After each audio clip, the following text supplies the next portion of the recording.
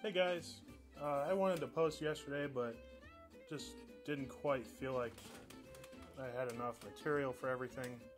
So uh, we've just compiled yesterday and today's footage into one video.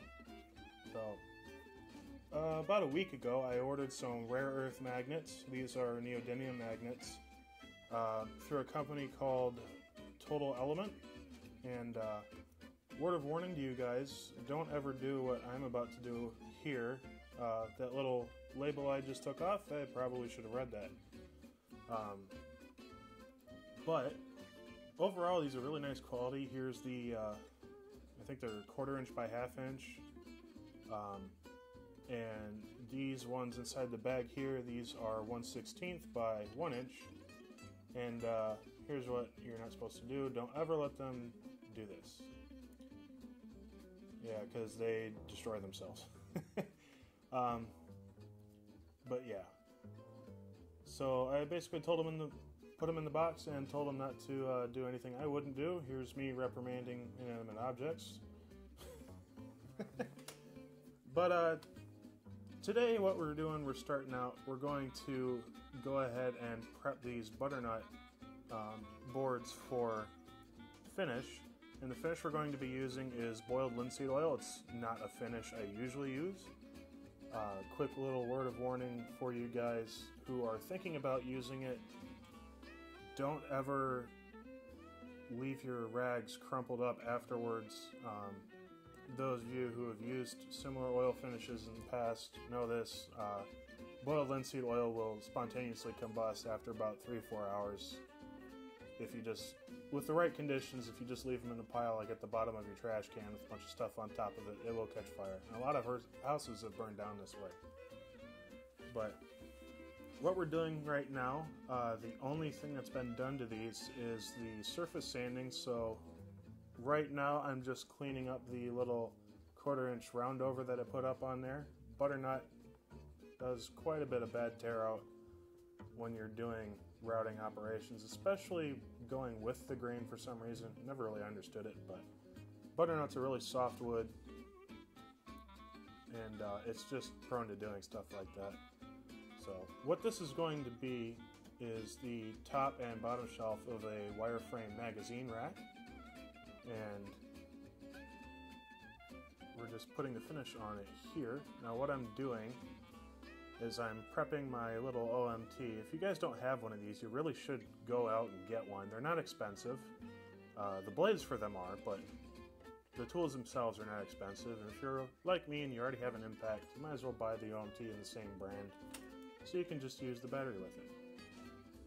Um, and the attachment I'm using here is the three and a quarter Diablo hook and loop sanding pad, and we're going to be throwing on some Diablo 120 grit uh, three and an eighth sanding pads. These are awesome scissors, by the way. These Crescent crescentless. These are the professional shears, I believe.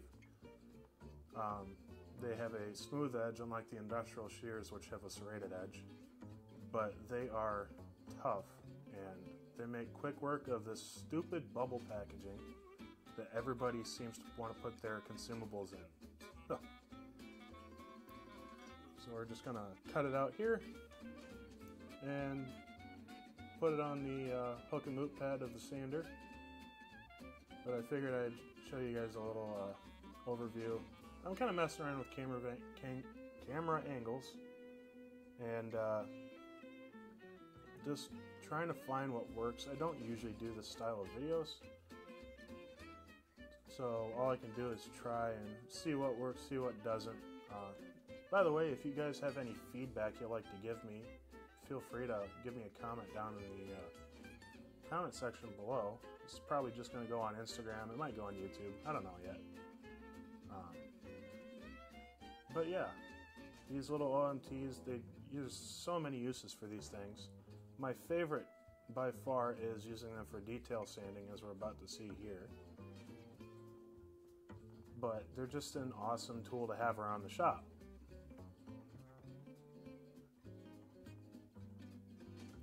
So here we are. What I like to use this for as well is uh, breaking the hard edges on boards like this It's not really necessary for an oil finish, but I like to do it anyways. It gives you a more tactile feel. And uh, what we're doing here is we're going to be cutting the uh, angled blocks for the boards to sit on while we're doing our finishing. And as you can see, my new miter saw here has the uh, awesome feature of auto eject. Every single one of these I cut just flew off in the great blue yonder and ended up beyond the uh, miter saw. So after a couple cuts, we end up with a pile like this, and I'll show you here how we use them. Now the reason we cut these at uh, opposite angles is we uh, give the board underneath as little contact area as possible. So when you put your finish on both sides, especially with an oil finish, you don't end up with weird um, stains or discolorations from a whole block of wood contacting it here. And just laying down our drop cloth now. And you always want to make sure you brush off any dust, preferably vacuum off as well, but I didn't do that here for, uh, the main reason is we're just doing an oil finish. So anything that's buried in the grain right now will come up with the rag when I put the finish on anyways. So why waste the effort?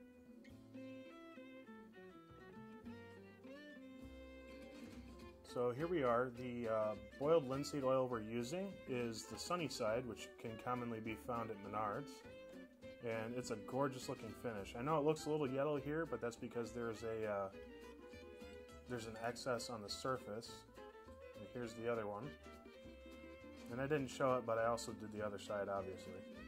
So you just let this sit for, I let it sit for about 10 minutes and then wipe off the excess. It's kind of like tung oil and uh, teak oil. You don't want to let it get tacky, but um, you do want to let it soak in. This is just one coat. I ended up doing two. And I'm going to finish them off with Watco Satin Wax uh, when it's in the house. But gorgeous engraving. And here's the next day. Uh, today we had a really, really warm day, and I don't understand why the thermometer says we're raining when it's obviously not. But for those of you who wonder, I am a coffee person primarily, though I do drink tea.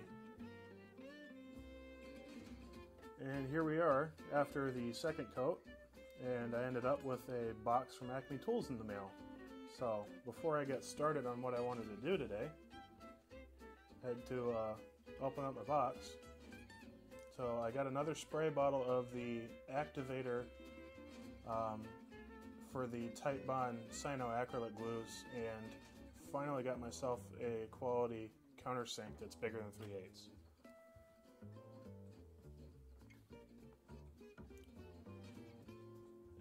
just looking over the work from yesterday. And the reason I got, I have those drill bits with the countersink um, built into them, but the reason I got this in half inch is for uh, doing dowels. Um, I know some people don't do this, but it's a good idea to. Uh, after you drill your dowel holes, you want to uh, countersink the edge of the hole slightly so you don't get any uh, burrs or glue squeeze out to prevent the boards from fully closing when you're doing your panel glue up. And uh, I really like the look of this titanium bit. It won't look pretty for long, but you know, enjoy things while they last. So, with the uh, really warm weather today, we're going to be uh, blowing all the excess dust out from the hard to reach areas um, every shop will have this same problem, no matter how much air filtration you do. Um, there's going to be dust buildup over time. So before we got to that, decided to uh, show Sage the rooster here. These are Easter eggers, by the way. They lay blue eggs, but this is the rooster showing us his good side. And here's the other flock.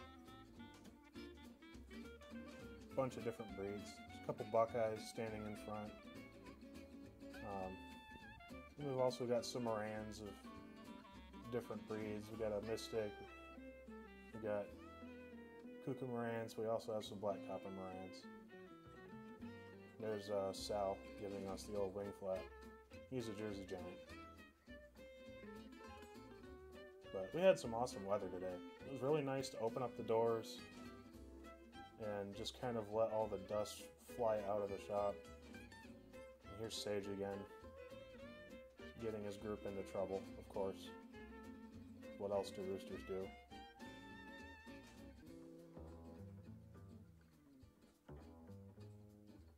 And like the wind, they're gone.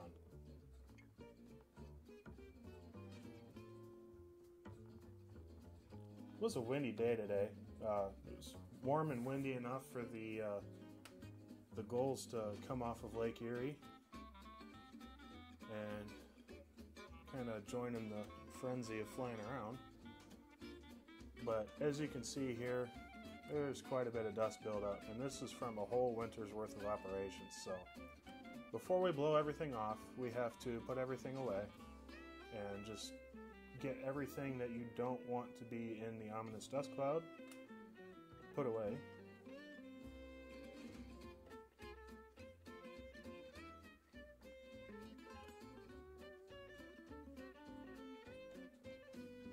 Of course, I had a lot to put away because sometimes when you get in a work groove, you uh, end up not being the most organized person. I'm definitely guilty of that. But here we go. I'm using the uh, shop vac, but putting the hose on the other way so we can just blow everything around. And you always want to wear a mask when you do this. As you're about to see here, it gets pretty ridiculous.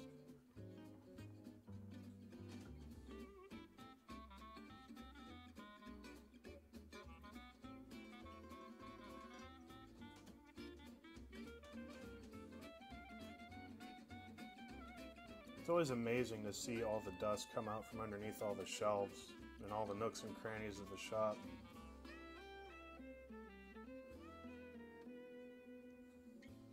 Especially underneath the laser engraver.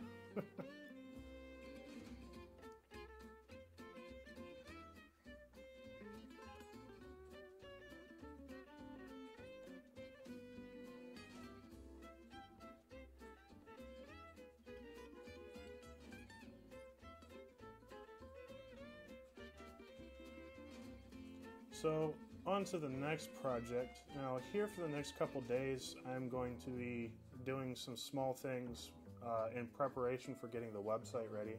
I want to have some basic inventory, and uh, here we have some butternut cutoffs that uh,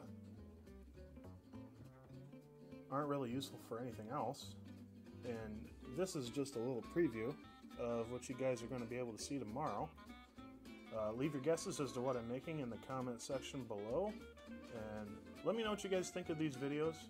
They're fun to make, they're a little time intensive, but I figure while I've got the time now, I might as well do them. Um,